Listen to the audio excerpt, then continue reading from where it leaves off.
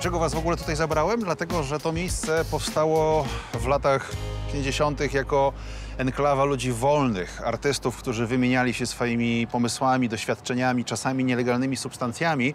Dzisiaj takim miejscem w San Francisco jest e, hakernia, tak chyba nazwałbym tę przestrzeń, gdzie spotykają się ludzie zainteresowani światem technologii. Spotykają się po to, żeby wymienić się tym, co mają najlepsze. Doświadczeniem, wiedzą i czasem. To miejsce nazywa się Noisebridge i aby tam wejść z kamerą, musimy uszanować anonimowość kilku jego bywalców pracujących nad sekretnymi projektami. Jay powiedział, że nie chce się pokazywać w telewizji i tak samo mój kumpel z góry. Pokażę ci, którzy to. Tak, żebym ich nie nagrywał.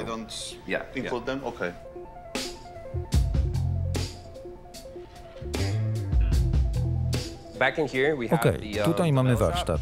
Tam pochowane są materiały. Tam stoi prasa, tokarka i parę innych fajnych narzędzi. W planach jest też wycinarka do metalu.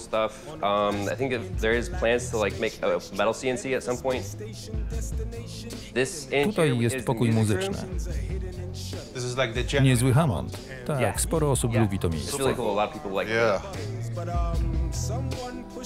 To jest szwalnia. To jedno z najpopularniejszych pomieszczeń. Sporo ludzi tu przychodzi popracować nad projektami.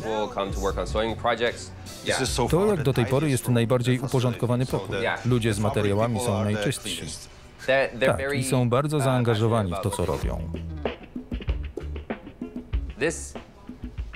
Ta kupa rzeczy nazywana jest półką hakerską. Nad czym teraz uh, pracujesz? Widzę, że to ma być takie wielkie serce. To. To instalacja na festiwal Burning Man. Pierwszy raz bawię się w artystkę i po raz pierwszy używam piły pod czujnym okiem Maxa. Pracuję nad tym. Wycinam tą piłą kształt serca. Dodam potem sześć okręgów i zainstaluję to na plaży Burning Man, tak żeby tworzyło obracającą się rzeźbę. Co sprawia, że chcecie tu przychodzić? Miłość i możliwość rozmowy z ludźmi, którzy mają fajne umiejętności, możliwość nauki, ogólnie przebywanie z twórcami. Czyli ty się dzielisz swoją wiedzą. Myślę, że to bardzo szlachetne, tak wymieniać się umiejętnościami, doświadczeniem i uczyć się od siebie nawzajem. To chyba przyciąga tutaj ludzi, którzy chcą coś stworzyć. Ultimately, what brings people in here usually is people want to make stuff, hack stuff, as we say.